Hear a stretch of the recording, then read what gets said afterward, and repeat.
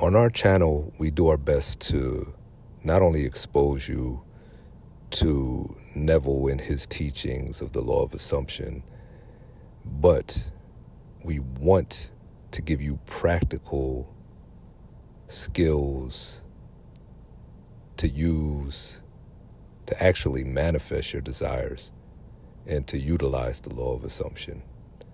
So I know that many people play the lottery um, as a game of chance or something fun to do.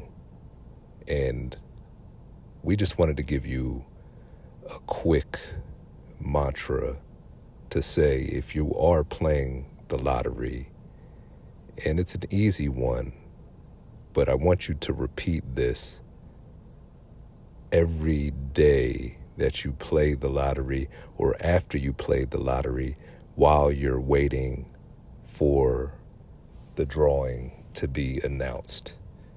And that is I am a lottery winner. I am a lottery winner. I am a lottery winner. I am a lottery winner. I am a lottery winner. I am a lottery winner. Say this at least five to ten times.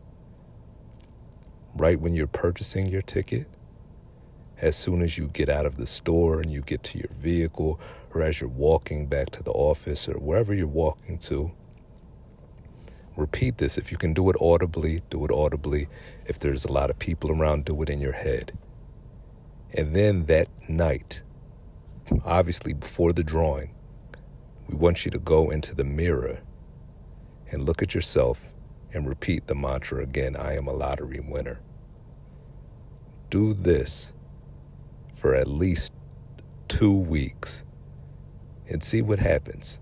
I want you guys to go into the comments and tell me what you win, what prizes you've won trying this technique because it does work. Be blessed.